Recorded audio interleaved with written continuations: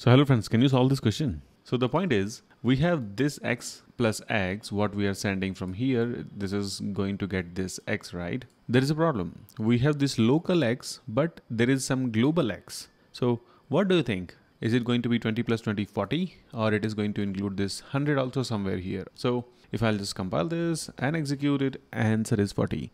Now you might be wondering like, what is the way to actually tell here that I am referring to a global X? This is not a good practice. You should not uh, have a name conflicts like this. It's not considered good, but still you have the option. You can just do this and then it is 120. So this guy is telling that, and by the way, this is scope resolution operator and this is telling that, okay, I'm referring to a global scope, not the local scope. So I hope you learned something new today. And if you did, don't forget to hit the like button, man, and share it with your friends. Let's see if they can solve this. See you in the next videos. Bye bye. Take care.